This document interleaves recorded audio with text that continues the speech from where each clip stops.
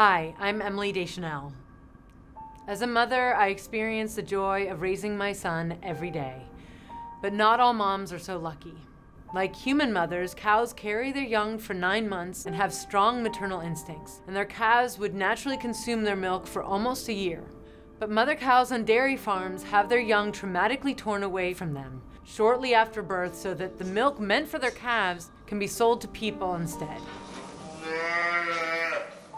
On dairy farms, cows are repeatedly artificially inseminated, are kept almost constantly pregnant, and have calf after calf taken away from them.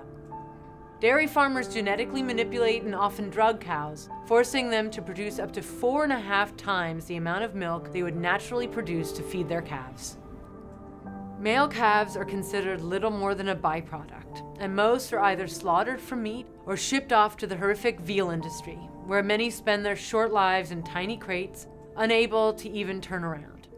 Female calves are destined for the same sad fate as their mothers. Cows also suffer horrific abuses on dairy farms. Many cows have holes punched through their ears and have their horns or sensitive horn tissue cut or burned off without any painkillers. Some farmers even remove parts of cows' tails with rubber bands or sharp knives. When their milk production declines, cows are sent to slaughter to be ground up into hamburger. A cow's natural lifespan is about 25 years, but cows used by the dairy industry are killed after only four or five years. The best way to help cows abused by the dairy industry is to stock your fridge with delicious vegan foods. Dairy free milk, cheese, ice cream, and yogurt are readily available at your local grocery or health food store.